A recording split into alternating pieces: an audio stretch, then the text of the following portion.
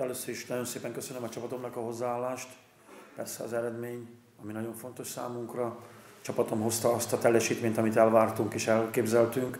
A mai, mai mérkőzésen taktikailag, felállásba, elképzelésbe nagyon közelített ahhoz, amit megbeszéltünk a meccs előtt. Nagyon örömteljes az, hogy az eredmény is pozitív számunkra, 3-0-as győzelem idegenbe, egy nem könnyű csapat ellen, mint a Budafok. Bár a kiesés ellen játszik a csapat, de nagyon kompakt, nagyon kellemetlen csapat, gyors játékos van az ellenfélnek, tehát erre készültünk, és a csapatom nagyon jó hozzáállással lehozta simán ezt a mérkőzést 3 0 Ezért is nagyon szépen köszönöm a csapatomnak a hozzáállást és a mai mérkőzést.